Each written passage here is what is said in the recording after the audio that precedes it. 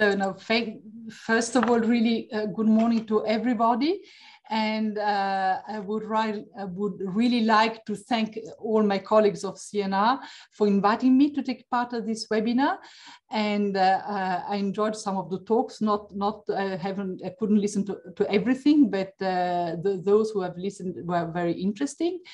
And, uh, and I would like to thank, of course, the Italian ambassador to Georgia, um, Enrico Valvo, and, and especially the directors David Lordki panidze and Costanza Miliani, and also all of you, all the guests and other distinguished speakers who have participated to today's webinar.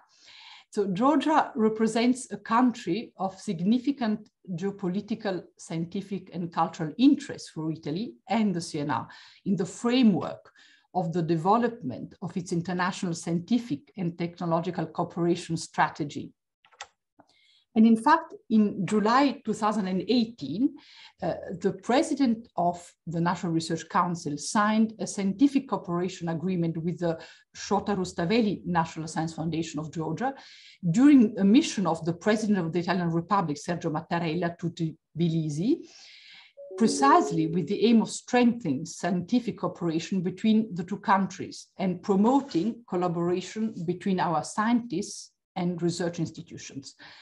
I also, I must say, I also remember very well my visit to Georgia. Um, the very first time it was, I think, between 2005 and 2006, if I remember well.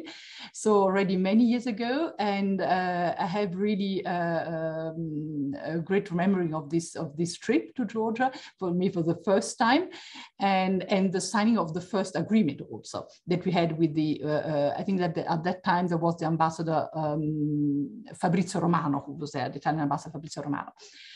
So the scientific agreement, as you know, represents as of today the institutional framework within which we support mobility and joint research projects where cultural heritage and new technologies applied to cultural heritage are the priority areas of interest for the development of scientific cooperation between the two countries. In the last call for the biennium 2021 and 22, a total of five research projects were funded, including yours. And a new call is currently, um, is currently open for the biennium 2023 and 2024 with a deadline with, uh, of the 7th of July, so quite uh, uh, uh, in a few days, and, um, and focusing again on the area of cultural heritage and new technologies applied to cultural heritage. So I therefore really invite uh, those who are uh, listening to, to, to this webinar to, and who are also interested to consult the new call on the CNR website and see if it's Uh, the good time for making a new, a new proposal. So the aim of our agreements is therefore to foster through bilateral cooperation, the consolidation of scientific relations and the exchange of know-how for a desired evolution of collaborations in, in a multilateral scenario. And also EU, EU projects, such as, for example, in the framework of the Horizon Europe, also considering the fact that Georgia is an associated country to Horizon Europe and can therefore take part in the program under the same condition as the member state. CNR has as many as 51 bilateral scientific and technological cooperation agreements developed with research institutions, universities, and ministries in 37 foreign countries, and 87 memoranda of understanding with 42 countries. The memoranda in some cases are preparatory to the development of the agreements themselves. So, right. So, uh, um, so these are the, um, uh, the, the, the, list of the, um, of the, um, of the bilateral agreements that we have. So I just go quickly so that we, you, you have seen also Georgia, of course.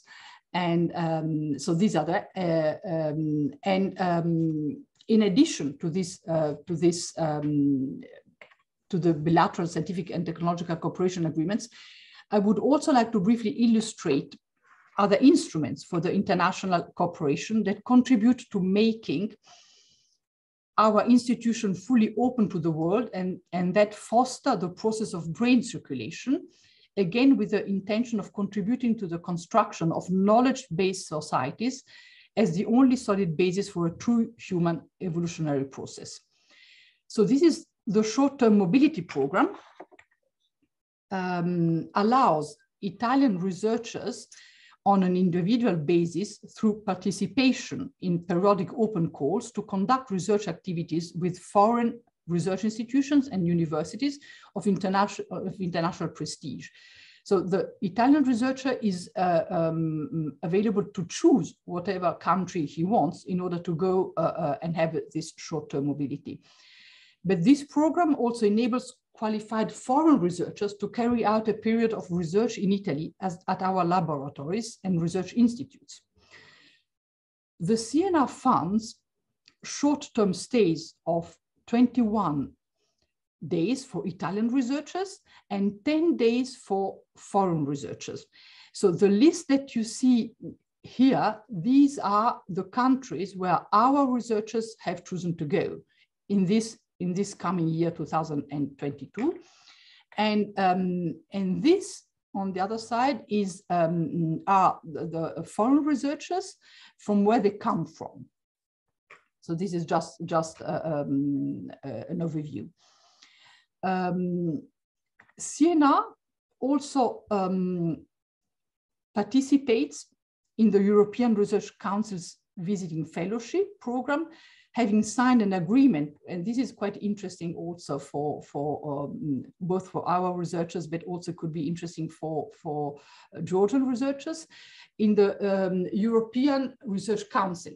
In order, uh, we have, so we have signed an agreement with the European Research Council to connect ERC's short-term mobility program with this important new initiative of the visiting fellowship program, which allows researchers intending to submit a, a, NERC research project to join the team of ERC called WINA for a certain period of time in order to gain the necessary experience for future submission of their own proposal.